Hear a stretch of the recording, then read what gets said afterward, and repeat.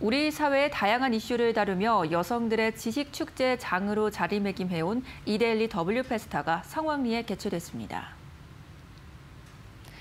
올해 10주년을 맞은 W 페스타는 다시 쓰는 우리의 이야기를 주제로 코로나19의 세계적 대유행 속에서도 한계를 극복하고 자신만의 이야기를 써나가고 있는 우리 사회 여성 성공 스토리를 주목했습니다.